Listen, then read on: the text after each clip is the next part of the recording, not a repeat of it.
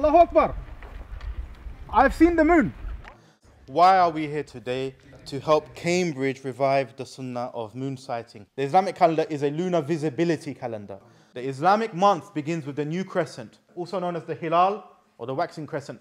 We're, we're waiting fed- for a group to come over from the mosque and we're looking for the sunset location. In order to see the new crescent, you must first know where the sun has set. So we're just looking at the sunset location, which is in that direction. Allahu Akbar! Allahu Akbar! I've seen the moon.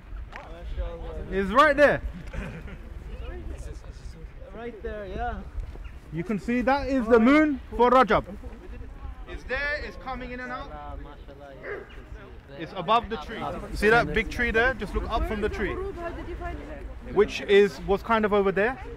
And then I thought it's going to be to the left of the sunset. And you can see the moon. Yes. astronomy calculations for the moon is uh, uh, agreed with the with the like with the with the with the moon seeing by our own. Very good question.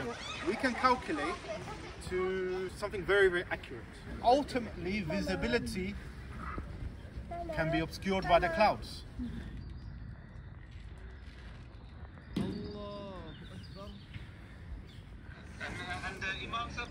Assalamu alaikum. My name is Zakaria, Zakaria Gangat, and uh, I bear uh, witness that I have uh, seen uh, the moon with my with my eyes, along with our beautiful community, kids, adults, everyone. Alhamdulillah. Imam, would you like to announce, therefore, the month has begun? Alhamdulillah, the beautiful and sacred and special month of Rajab has begun. The Prophet ﷺ prayed for it, and uh, we are blessed to have it. Alhamdulillah. Thank you very much. Oh Allah, may this moon, this month, shine on us and bring with it good fortune and Iman, security and Islam. My Lord, the one who is sustaining me, looking after me, the one who's looking after you is the same, Allah.